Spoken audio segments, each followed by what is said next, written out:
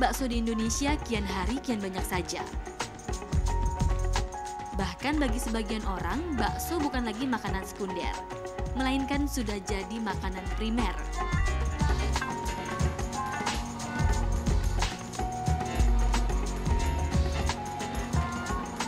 Walau begitu, bukan berarti penjual bakso bisa tenang-tenang saja.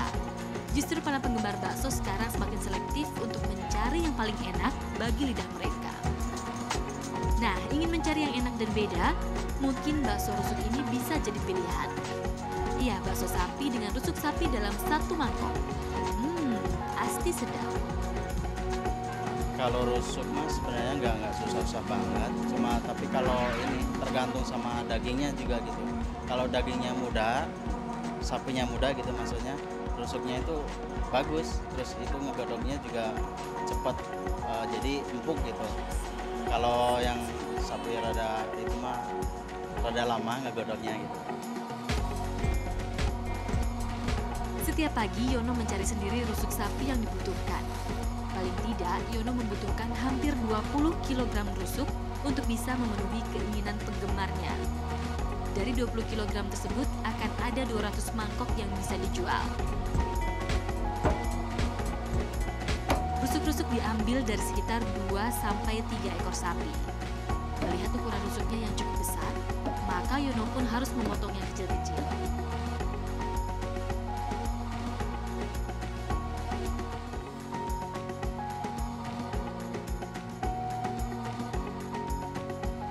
Setelah dipotong dan diseset sebagian dagingnya, rusuk ini harus direbus agar empuk saat dimakan.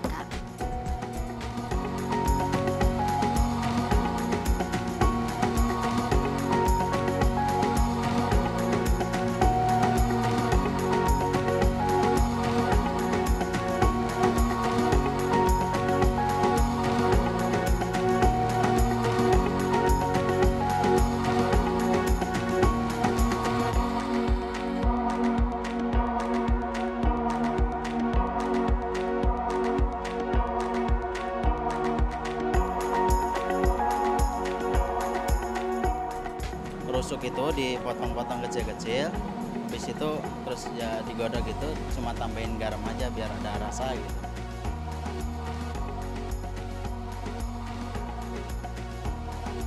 Hmm, saking nikmatnya, bakso rusuk ini laris manis hanya dalam waktu singkat saja.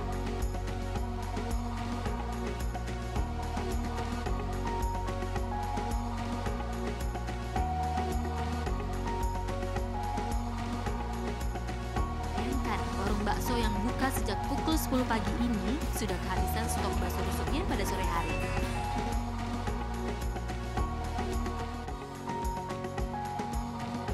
Ya memang saya kan sering ke sini ya sering jadi lumayan lah enak gitu. empuk ya kan disebut bakso rusuk ya tapi kan kalau digigit itu kan empuk gitu ya, ya. ya ada kan eh kan pentulannya kan dagingnya kan copot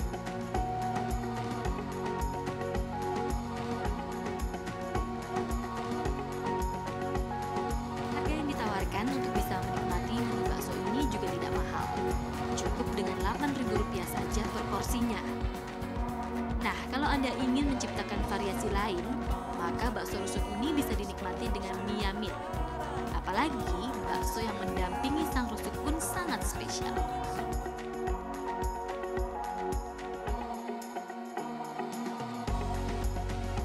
Ya baksonya bakso kalau kita kan pakai bakso hati beda sama yang lain gitu. Bakso sama tulang jadi kan kelihatannya unik gitu. Kalau masa rasa ya cuma enaknya digege gitu aja.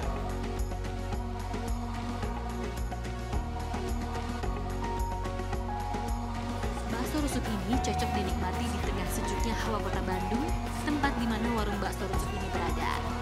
Tapi agar Anda tidak gigit jari, jangan sampai terlalu sore datangnya ya. Selamat mencoba.